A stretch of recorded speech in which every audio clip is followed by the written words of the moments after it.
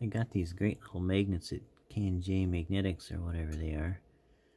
And I have a biggest big one in the middle and then smaller ones on the ends.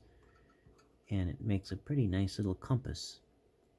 You have to balance it for your latitude because, for example, I'm at 48 degrees north, so it really wants to point down like that. If I were on the North Pole, it would want to stand right up on the magnetic North Pole. So it really wants to point like this. So if it's actually balanced, it'll be tipped. So you have to add, see I added extra weight to the back end, to the south end, to compensate for that. And so now it pretty well balances on the big center ball.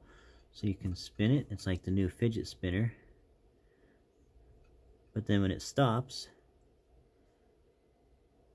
which it will do, it knows which way north is.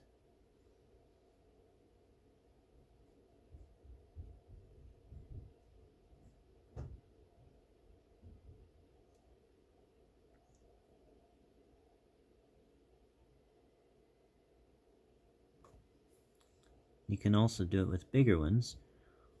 And then you can also take and uh, hold another magnet in your hand like a foot away, maybe 10 inches away, and really make this dance too.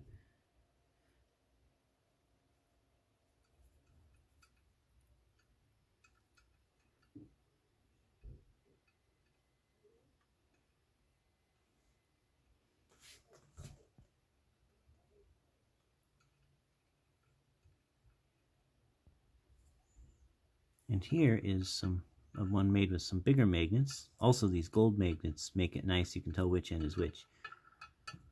This one's not perfectly balanced, but I don't have exactly the right sizes to balance it.